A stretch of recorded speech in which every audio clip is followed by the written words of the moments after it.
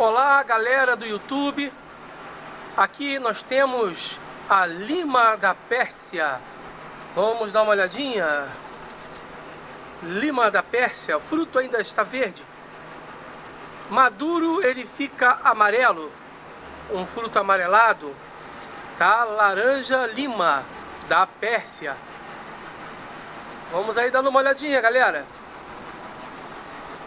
olha só que, que pé de laranja, que laranjeira linda, pessoal. A lima da Pérsia. As folhas combate o resfriado. As folhas você faz um xarope muito bom, pessoal, com as folhas. E é um chá também excelente aí para desintoxicar o organismo, desintoxicar o fígado. É um remédio aí depurativo para o sangue. Você fazer um chazinho aí da folha da lima e com certeza terá muitos benefícios aí para a sua saúde, pessoal.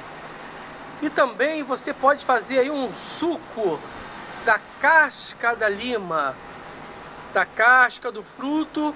Você pode bater no liquidificador aí umas casca de umas quatro laranjas aí e você pode adoçar e tomar aí um suco excelente que é bom para palpitações do coração.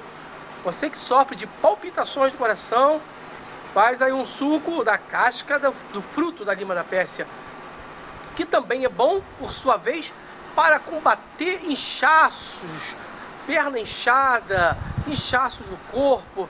Você pode usar também desse suco da casca da lima, porque é muito diurético, pessoal, é muito diurético e só vai fazer bem para sua saúde, ok? Então está aí a lima da Pérsia. Ok, pessoal? Então está aí. Mais uma dica de uma planta medicinal, de um fruto aí gostoso, saboroso.